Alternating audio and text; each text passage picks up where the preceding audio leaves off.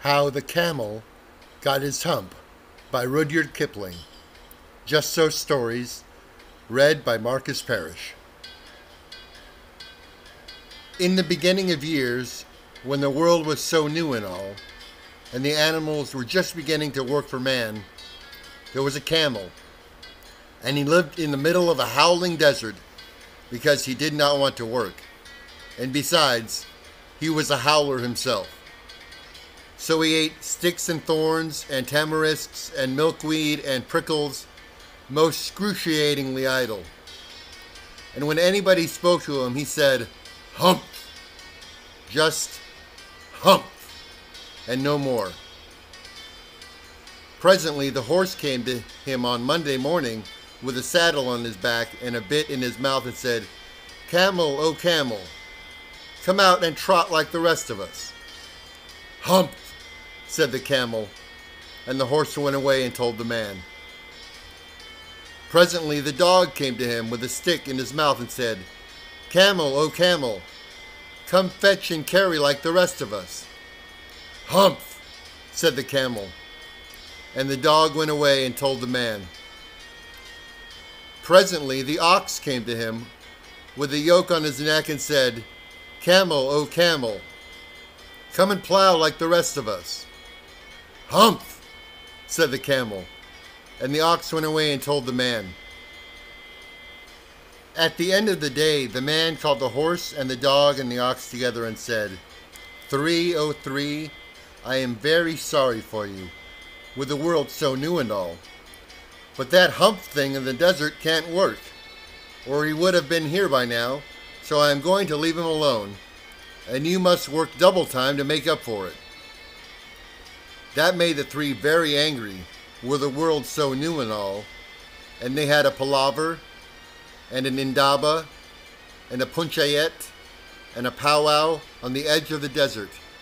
And the camel came chewing milkweed most excruciatingly idle, and laughed at them. Then he said, Humph! and went away again. Presently, there came along the jinn in charge of all deserts, rolling in a cloud of dust. Jinns always travel that way because it's magic. And he stopped to palaver and powwow with the three. Jinn of all deserts, said the horse, is it right for anyone to be idle with the world so new and all? Certainly not, said the Jinn. Well, said the horse, there's a thing in the middle of your howling desert, and he's a howler himself, with a long neck and long legs and he hasn't done a stroke of work since Monday morning. He won't trot. Whew, said the jinn whistling. That's my camel for all the gold in Arabia. What does he say about it? He says, Humph, said the dog, and he won't fetch and carry. Does he say anything else? Only humph, and he won't plow, said the ox. Very good, said the jinn. I'll hump him. The jinn rolled himself up in his dust cloak and took a bearing across the desert and found the camel most excruciatingly idle, looking at his own reflection in a pool of water. My long and bubbling friend, said the jinn, what's this I hear of you doing no work with the world so new and all? Hump, said the camel. The jinn sat down with his chin in, in his hand and began to think a great magic, while the camel looked at his own reflection in a pool of water. You've given the three extra work ever since Monday morning, all on account of your excruciating idleness, said the jinn, and he went on thinking magics with his chin in his hand. Humph, said the camel. I shouldn't say that again if I were you, said the jinn. You might say it once too often, Bubbles. I want you to work. And the camel said, Humph! again.